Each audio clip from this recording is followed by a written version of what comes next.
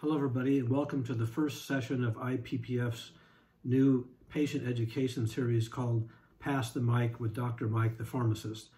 I'm Mike Rigas. I'm a clinical pharmacist. I've been practicing for the last 40 years, the first 20 years in the hospital setting, and the last 20 years in the home infusion setting, and have managed literally tens of thousands of autoimmune blistering disease patients in that time. So today we're going to have our first session we're going to talk about what is the role of the pharmacist in helping to manage autoimmune blistering disease patients' medication needs. And many times, many patients may not be aware of all the needs that they have for medication until they become sick with a chronic disease like pemphigus or pemphigoid. In that situation, you may need to act, interact with several doctors, several pharmacists, several pharmacies, your insurance company, some pharmacy wholesalers, etc. So you may find yourself in a situation where you're having to interact with lots of these uh, groups of people you may not have experience with in the past. So the first thing I want to talk about is prescription processing. And that is the, the process that most people see. That is where the, the pharmacist acts as the coordinator between the physician, the pharmacist, and the payer. And the prescription is usually received electronically from the physician to the pharmacy then the pharmacist verifies several factors about the diagnosis, about the insurance company, about the um, age and weight and other past history of the patient, and then eventually submits that uh, information to the insurance company for authorization. In some cases, that may just take several minutes, maybe five or 10 minutes. It's done electronically for most oral medications, but if it is an intravenous medication that is costly in the case of IVIG, it may be you know, five or ten thousand dollars a month. Then it may take days or weeks to get approved, depending on the information provided by the doctor and information required by the insurance company. So once that authorization is obtained, then the insurance uh, will approve it, and then the, the therapy can start. And so, as I said, that could take anywhere from a few days to several weeks or longer, depending on how complex the process is. So next, the function that the pharmacist does is patient support and safety. And in, in this case, the pharmacist is spending significant time analyzing the prescription, making sure the patient is not going to have any kind of clinical, time-wise, logistical, or financial harm as a result of the prescription being processed and trying to minimize all those types of harm by picking the most uh, effective drug clinically that's also the most cost effective for the patient results in the least out-of-pocket cost, and that may result in uh, require the interaction between the pharmacist and the physician and the insurance company in several uh, different time periods in order to make that all happen. So the next section is the patient education. So once a prescription is approved and the payer is going to pay, then the patient needs to be educated about the prescription. And that's a very important function. Talk about the dose, the frequency, expected rapidity of drug effect, drug storage, expected side effects, and who to call if an issue occurs. Education may also include issues surrounding home safety, fall prevention, and tips to better manage other diseases the patient may have and other drugs the patient may have in combination with the drugs used to treat their immune autoimmune blistering disease. So the next, this is the fourth step now, is the billing and associated actions from the insurance company. And one of the most important functions is the customer service function, and that is what mostly surrounds billing of the insurance company on the behalf of the patient and adjudicating the patient's out-of-pocket cost.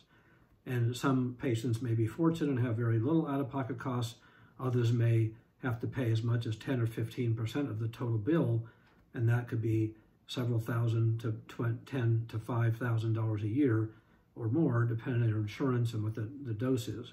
So that's a big deal, and many case patients are not able to afford that out-of-pocket cost and therefore the pharmacy may come to help you to figure out what kind of patient assistance plans and other plans are available that could help you uh, cover the costs uh, either from the drug company who makes the drug or from other nonprofit private foundations that have money available.